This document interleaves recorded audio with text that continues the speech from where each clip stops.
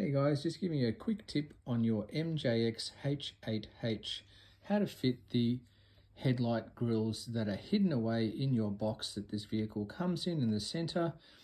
Very simple way to make sure that you get them nice and uh, square is to line them up with the bottom of the body as I've done.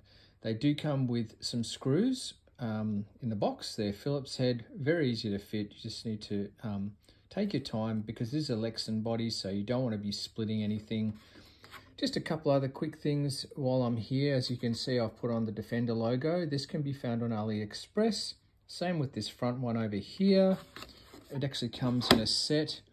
Um, the other thing I'll quickly show you is just all these little stickers and things like that and the accessories that are on the top over here, all on AliExpress, very cheap.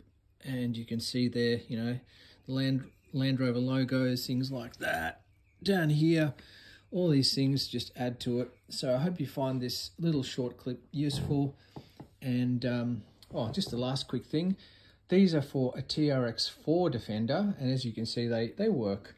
So that's, again, something you can find on AliExpress. Hope you guys enjoyed the video. See you on the next one.